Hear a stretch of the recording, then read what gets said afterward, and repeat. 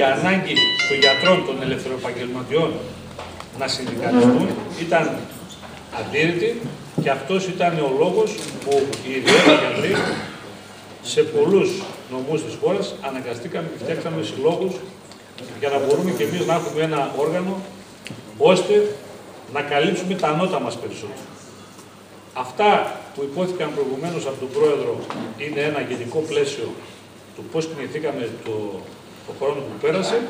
Όμως, η δεύτερη επισήμανσή μου είναι ότι το ότι βρεθήκαμε όλοι εδώ 20 μέρες, 25, μετά την υποτιθέμενη έναρξη λειτουργίας αυτού του μορφώματος που αυτός ο Υπουργός και αυτοί ε, οι συνεργάτες του Υπουργού το αποκαλούν μεγαλόσχημα ΕΟΠΗ, ακριβώς αυτό το πράγμα δείχνει ότι ούτε ΕΟΠΗ υπάρχει, ούτε Υπουργός υπάρχει, ούτε διοίκηση υπάρχει, τίποτα δεν υπάρχει.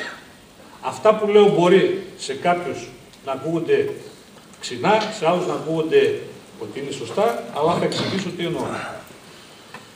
Δεν νοείται να ξεκινάει ένα τέτοιο εγχείρημα, όπως είναι αυτό του Εθνικού Συστήματος Υγείας, που αυτό το εγχείρημα να μην έχει αρχή, να μην έχει μέση, να μην έχει τέλος. Σήμερα υπάρχουν εδώ εκπρόσωποι που ανήκαν στο παλιό ΤΑΕ, ο ΑΕ, εκπρόσωποι που ανήκαν στο παλιό ΝΟΠΑΔ, στο ΤΙΡΚΙ, στο ΙΚΑ, στο ΝΟΓΑ.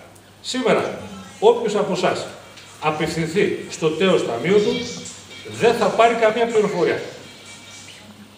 Κανένας υπάλληλος δεν γνωρίζει τι ισχύει, από πότε ισχύει και πώς θα εξηγήσει στους τέος ασφαλισμένους τι οφείλουν, τι δικαιούνται και σε ποιους θα αποταθούν.